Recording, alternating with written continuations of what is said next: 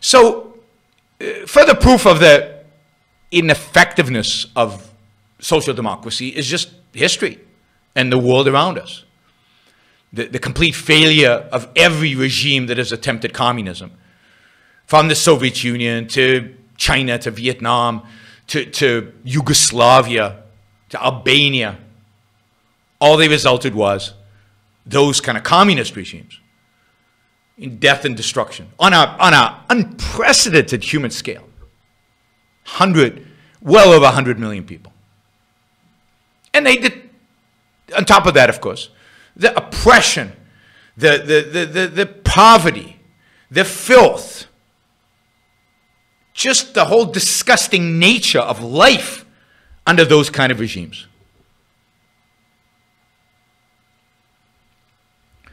And then if you look at socially democratic states, real social democracy. So Israel was really, a, to a large extent, a social democratic state, and probably the most successful one of all of them.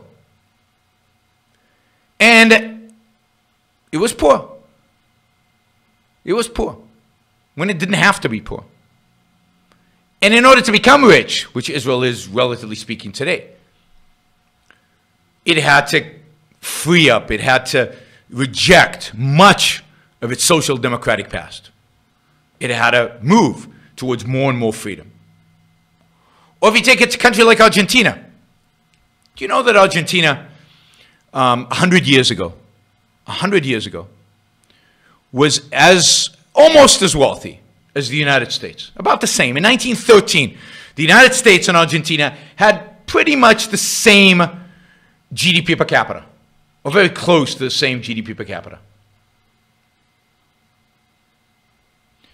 Since then, since 1913, Argentina has adopted a variety, a variety of different socialist policies, statist policies, social democratic policies.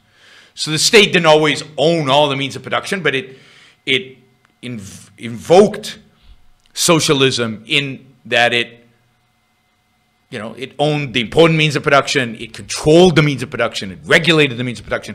Here's, by the way, a definition somebody had. I saw this. This is an econo economist type definition of social democracy, not communism, social democracy. Here's here the four points of social democracy higher personal corporate tax rates, and higher government spending. More worker protections, restricting the ability of companies to hire and fire, and less flexibility for companies to set wages based on worker productivity and to hire foreign labor.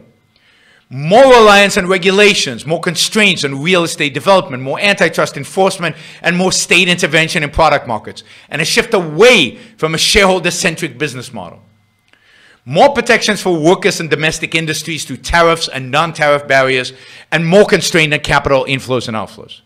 Now, by the way, based on that definition of social, democ social democracy, the United States is pretty close. Uh, under Bush, Obama, Trump, suddenly Trump, Obama, it's pretty close to this, right? Uh, Trump added the tariffs and non-tariff barriers, but really, I mean, this is all the, the shareholder-centric moving away from shareholder centric. That's a big push over the last 30 years. Higher personal uh, uh, corporate taxes. Well, corporate taxes have gone down in the U.S. That's a good thing. So we moved away from social democracy with, with Trump on that one. Higher government spending. Moved towards it with Trump on that one. So we're kind of a, this mixed bag of a bunch of these, but not all of them, right? A bunch of them, but not all of them. Suddenly, all of these you know, sound like Bernie Sanders. They sound like Elizabeth Warren. They sound like AOC. I mean, that's social democracy. That's where they want us to head. Now, countries that have that, countries that have higher personal corporate, and uh, personal corporate taxes, higher government spending, more worker protections, uh, restrictions on hiring and firing, less flexibility to set wages, all of this stuff that I just read you. Where do you think countries like that, how do they perform? Well, Argentina is a great example of that. It was as rich as the United States. Today, it's much, much, much poorer than the United States. There's a graph. So, by the way, if you're interested in kind of these econ economics of freedom kind of issues, I highly recommend Daniel Mitchell uh, and his, um, his uh, blog. So it's called danieljmitchell.wordpress.com. danieljmitchell.wordpress.com. Highly recommend you subscribe. I get his stuff off of LinkedIn. You can friend him on LinkedIn or you can just go to his podcast, his uh, blog, his blog. He has excellent stuff. He always has great graphs. He always illustrates, concretizes well. You know, again, he's not philosophical. He's, he's certainly no objectivist, and he's not. He doesn't deal with the moral issues. But on the practical side, he's one of the best out there in just describing what's going on, what's wrong with the stuff. And he's almost always. I mean, I, I agree with him on ninety plus percent of the time, which is very rare. Um, Anyway, he has this graph showing over the last 100 years, since 1913, 105 years, uh, how, you know, by how much has a, an economy grown on a per capita GDP basis? That is on individual wealth. American wealth, for example, has grown, and I think this underestimated dramatically, by what the graph looks like, I'd say about eight, eight times. Eight times, not 8%, eight times over the last 105 years. Taiwan, which 100 years ago was an unbelievably poor country, has grown 41x, 41 times. South Korea, which was at the end of the Korean War, and it, well into the actually 1950s, post Korean War even, was poorer than North Korea, has grown in excess of 30 times most of that just in the last 50 years, not even 100 years. Argentina, between 2 to 3x. Less than half of the United States. Today, Argentinian uh, GDP per capita is less, well less than half of Americans. It used to be half. And why? Because they adopted, because they adopted all these policies social democracy. Oh, but you might say, wait a minute, but Norway and Sweden and Denmark, they are, they are social and democratic countries and they're rich.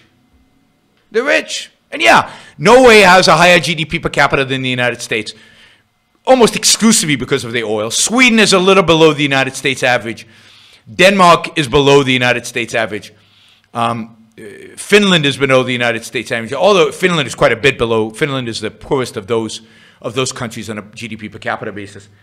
Um, but those countries are not socially democratic. Let's go through this. Higher personal and corporate tax rates.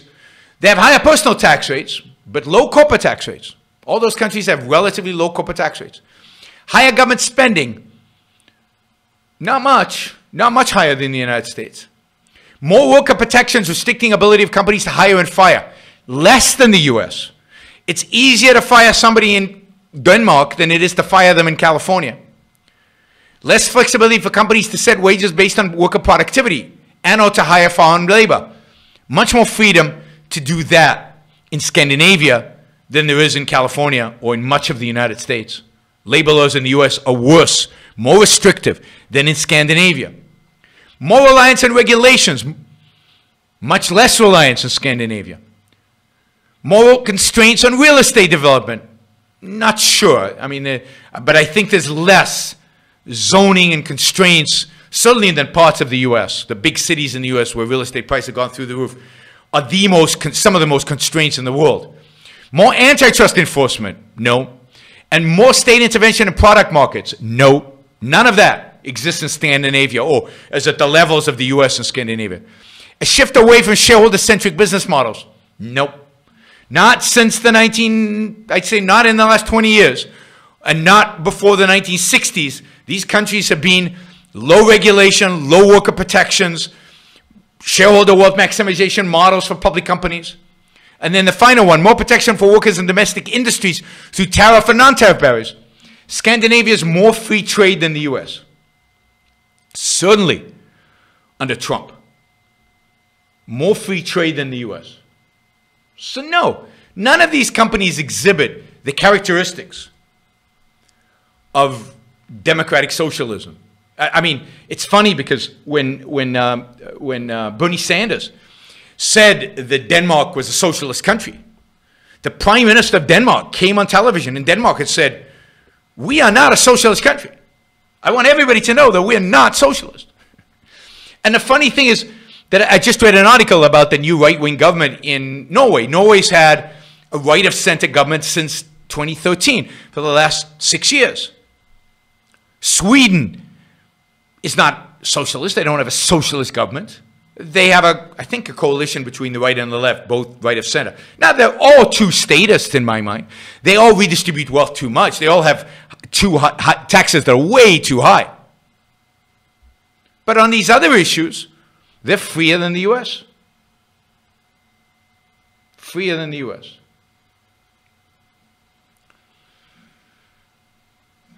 All right.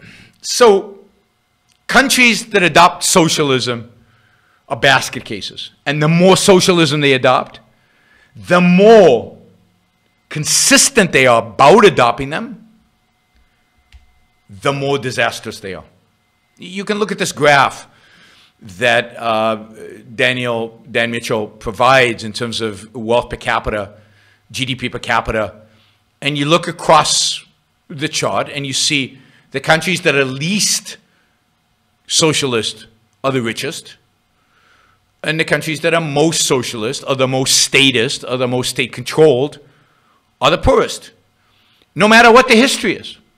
Even if they used to be poor, if they've adopted capitalism, they become rich, like South Korea, Taiwan, Hong Kong, Singapore, even Japan, if you consider how poor they were once during World War II.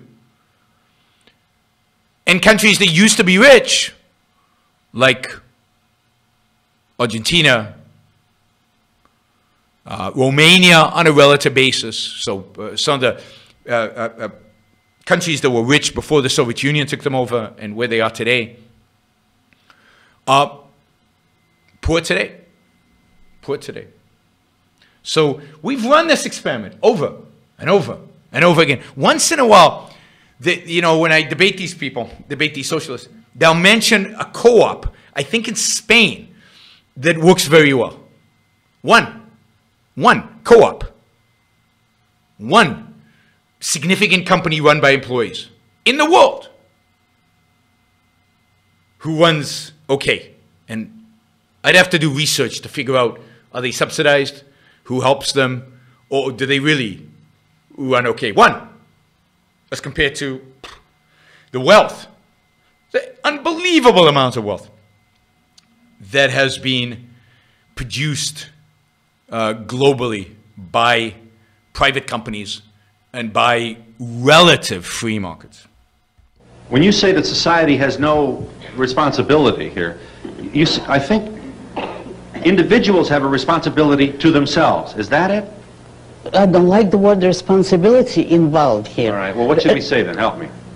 What do I do? What I wish to do. Is that your point? That the more no, do what I rationally think is right, according to the right morality, Uh, and help others if you can, but not as a primary obligation. And now, in regard to society, there is no such thing as society. You know, it's all of us. Now, how can we have obligations which we didn't undertake? See, the parents of a child would have obligations for him up to a certain age, since they brought, brought him into the world, but they can't do what is impossible to them. So it doesn't mean that, that they can at any moment throw the burden on the rest of us. We're society, everybody's society, and we can't have unearned obligations and unchosen obligations. What in the Ayn Rand civil context would be appropriate societal measures to accommodate the ungifted? Their own parents, a chance to give their parents to earn money.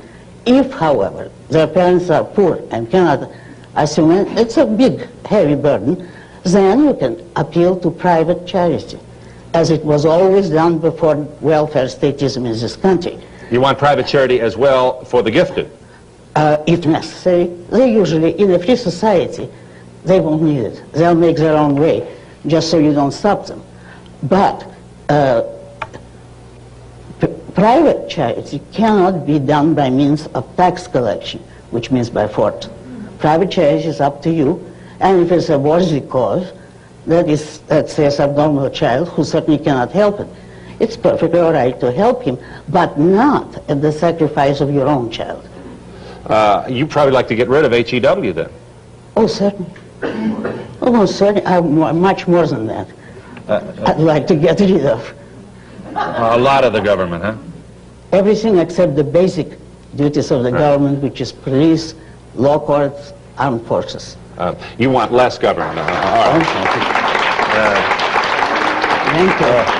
Well, everybody says that. It's a little hard to put that into effect when we've got a company, a country that has such uh, a, a maldistribution of wealth. Uh, you'll give me that, huh? Too few rich, too many poor.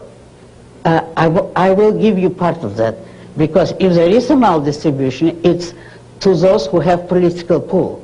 If some of your money is made with government help and government fav- favoritism, then I grant you that is unfair and improper and unjust. But if you made it yourself, in free competition, enough people want to pay you for your services or your product, then you should keep all of it. Why shouldn't you? You made it. All right. Okay. You You, also think if, if the Middle Eastern countries want to charge, hold us up for the oil at $5 a barrel, or a, a gallon, excuse me, $5, will that day ever be back? They ought to be able to do it. It's their oil. Is that your point? No. My point is we should not have permitted altruistically to all those nations to nationalize what we built for them. They took...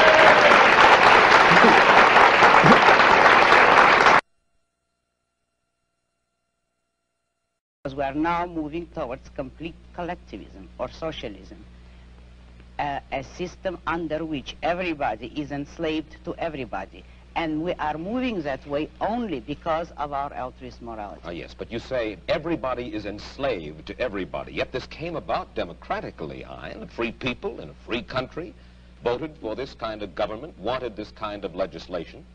Do you object to the democratic process? I object to the idea that people have the right to vote on everything. The traditional American system was a system based on the idea that majority will prevailed only in public or political affairs, and that it was limited by inalienable individual rights. Oh. Therefore, I do not believe that a majority can vote a man's life or property or freedom away from him. Therefore, I do not believe that if a majority votes on any issue, that this makes the issue right. It doesn't. All right, then how do we arrive at action? How should we arrive at action? By voluntary consent, voluntary cooperation of free men, unforced And- officials. The powers of government are strictly limited. They will have no right to initiate force or compulsion against any citizen except a criminal. Uh, those who have initiated force will be punished by force, and that is the only proper function of government. What we would not permit is the government to initiate force against people who have hurt no one, who have not forced anyone. We would not give the government or the majority or any minority the right to take the life or the property of others. That was the original American system. When you say take the property of others, I imagine that you're talking now about taxes. Yes, I am. And you believe that there should be no right by the government to tax. You believe that there should be no such thing as welfare legislation, unemployment compensation, regulation during times of stress, certain kinds of rent controls and things like that. That's right. I'm opposed to all forms of control. I am for an absolute, laissez-faire, free, unregulated economy. Let me put it briefly. I'm for the separation of state and economics, just as we had separation of state and church, which led to peaceful coexistence among different religions after a period of religious wars. So the same applies to economics. If you separate the government from economics, if you do not regulate production and trade, you will have peaceful cooperation and harmony and justice among men.